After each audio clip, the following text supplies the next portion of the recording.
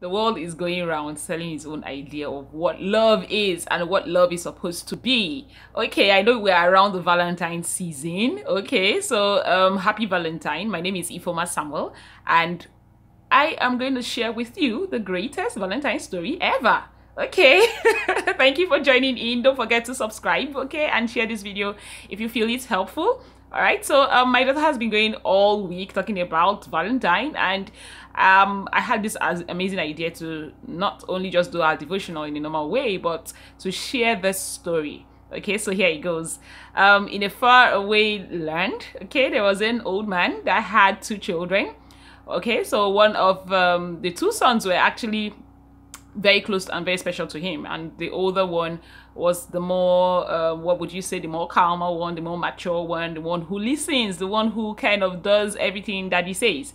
Okay, then the other younger one is the one that really didn't care much. He was the rebel. Okay, the typical black sheep kind of thing in the family. And um, he did all sorts of things. He went round and all sorts of vainness, worldliness, every imagine abominable thing you could ever imagine. He was really way into that. He got so bad that he ran into heavy debt. And in those times when you can't you couldn't come up with payments you're falling short on your on your payment strategy and everything you may not only just be dumped in prison you may be killed. So um he got into that kind of a bad fix. And guess what? He was imprisoned. His father was so heartbroken. He had to call his older brother and you know let him know what's going on with um, the the younger son. And um, the older brother left everything he was doing went all the way to the other side of the kingdom to find out how bad this time you know the trouble that his younger brother had gotten into. Um sadly sadly, quite sadly, um, he, the the guard didn't didn't um, let him see his younger brother, but he had so much of pain and agony and the hunger that he was um, going through while while locked up in jail, and um, he was actually supposed to be killed the next day, and his older brother found out all that information from the guard and pleaded with him, "Can I just see his face?" And the guard said, "No, I can't bring him out of you know the prison cell. Someone has to." Stand in his place. That's how it's done and um, the the older brother spoke to him. He said, "I don't just want to. I don't want to just um, see him since he's going to be killed tomorrow. I am going to stand. I'm going to stand in his place." And the guard was shocked and like, "You're innocent. You're a good um, person. Why would you want to lay your life down for this?" Sinner for this person who owes the whole world, who has done all sorts of atrocities, who is so undeserving, so unworthy. How come you want to lay your life down for him? Go on and move on, move on with your life. And the older brother said, He's my brother, he's my blood, and I love him. said, I get the story. You love him, so what? Like he couldn't wrap his head around how this good man was going to exchange his place, take the place of his younger brother. And he said, My father needs to see him. My father needs to see him, you know, and I know it will break my father's heart if he, you know, doesn't come back home with him. And some one or two things gonna happen. Either he, you know, he tried to explain to the guard how important it was for him to take his place. And guess what?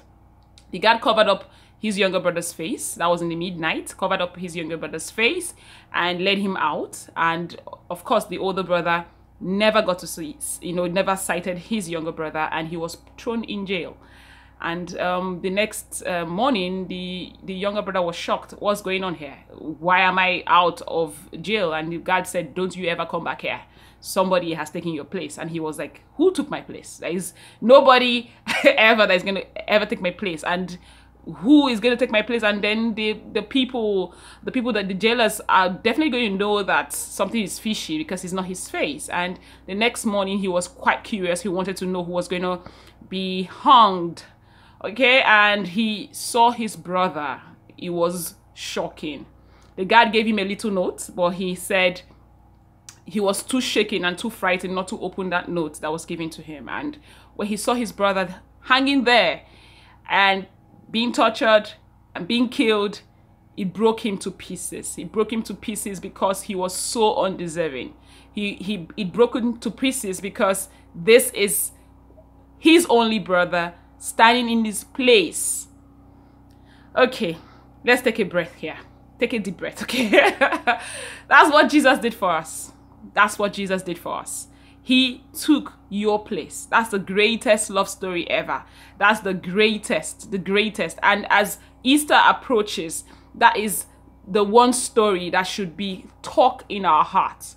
And this um this um story represents Jesus and us, we being the lost brother, we being the brother who doesn't want to comply, who doesn't want to listen, who wants to do his or her own thing.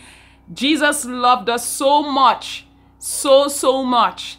And it pleased the Heavenly Father to, you know, put him there in our place. You can imagine how heartbroken um, it will feel for that younger brother to go back to sin after his older brother had, you know, stood in his place it's a powerful story. God loves you. I don't know who is listening. Okay, maybe you're wondering, okay, what are you talking about? I'm saying Jesus loved you so, so much that he shed his blood, he took your place, and that gave you access to freedom, to salvation. Okay, he gave you freedom to walk not in sin anymore, not in bondage anymore, but in grace Wow, that's powerful. Now let's let's take one scripture, okay? And I love this scripture so much. That's the book of First John, chapter 3 and verse 16. It says, Hereby perceive we the love of God, because he laid down his life for us. Okay, and we ought to lay down our lives for our brethren. That's what love is. Love is about selflessness. Is about sacrifice. Is about standing in the place for those you say you care about. Is about standing there in prayer standing there in time of need. It's about you being there. It's not about convenience okay? So that's the greatest story ever the fact that jesus loves you immensely is the greatest story ever and i want to say a word of prayer okay i want to say a word of prayer to you listening out there Let's take a quick word of prayer. Dear Heavenly Father, we thank you. We bless your holy name.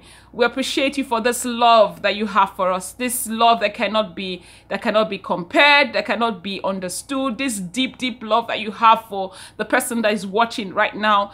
Perhaps they're thinking, Oh, who am I? Father Lord, let them perceive of your mercy.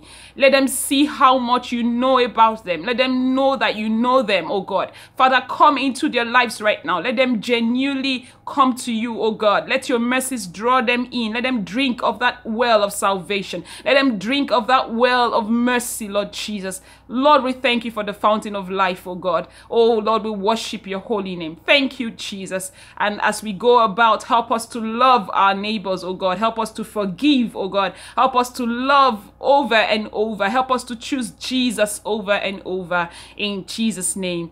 Amen. Thank you. And feel free to share the story. Bye. God bless you.